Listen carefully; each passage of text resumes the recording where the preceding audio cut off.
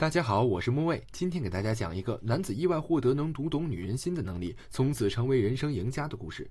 尼克的妈妈是个舞女，她从小就是在女人堆里长大的，所以练就了她擅长和女人打交道的性格。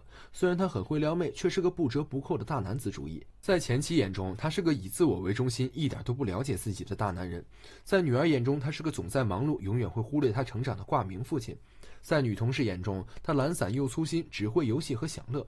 他是一家广告公司的经理，已经在这个位置上干了多年的他，也到了该升职的时候。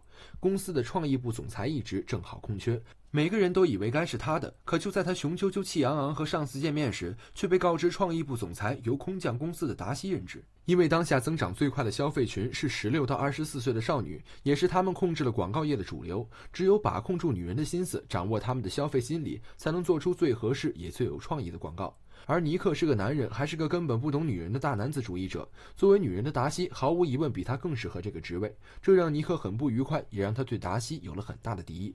达西一上任就跟每个人发了一盒女性用品，要求他们回家后都试用一遍，然后提出自己的广告创意。因为前妻再婚去度蜜月，所以女儿要跟自己生活两个星期。在尼克一边使用祛痘贴，一边穿着丝袜的时候，女儿带着男友回家了。尽管尼克极力解释自己是为了了解女性心理才做这些产品测试，但场面依旧陷入了尴尬。女儿送走男友后，对他发了一通脾气，直言尼克从不关心她，甚至连刚介绍过的男友名字也记不住。女儿气冲冲地回到了房间，尼克也没有了继续做产品测评的心情。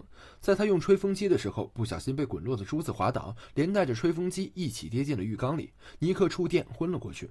等他醒来后，发现自己竟然可以听到女人的心理活动。他能听到钟点工对打扫卫生的抱怨，能听到女保安觊觎自己的心思，能听到女同事对自己的吐槽。不仅是女人，只要是雌性生物的心里话，他都能听到。尼克觉得自己要疯了。为了恢复正常，他按照前一晚的程序，用祛痘贴涂眼睫毛、涂指甲油、去腿毛、穿丝袜，通通来了一遍，然后带着吹风机淋雨引电。第二天醒来后，他迫不及待地跑去商场测试了下，但令他崩溃的是，能听到女人心里话的的能力并没有消失。毫无办法的尼克只能找心理医生寻求帮助。面对他的焦虑，心理医生开导说：“这分明是上天赋予他的能力。如果知道女人心里在想什么，就掌握了一切。”听了这话，尼克茅塞顿开。他利用这个能力读懂了身边所有女人的心思，在和他们的人际交往上变得如鱼得水，按照女儿的想法照顾她、陪伴她。女儿也开始认为他是个贴心的父亲。为了得到更好的广告创意，他去练瑜伽、做美甲，去女人扎堆的场所里收集他们的想法。更重要的是，他能通过探听达西的心理活动，知道他对产品的想法后，先他一步跟上司提出创意，这让上司对他赞赏不已。尼克认为这样下去，达西的位置迟早得还给他。种种创意的巧合，非但没让达西生气，反而让达西认为尼克是懂自己的人，并对他产生了好感。尼克知晓了这一点后，也在有意识地接近他。或许初始目的不算单纯，但他渐渐被达西的魅力所折服。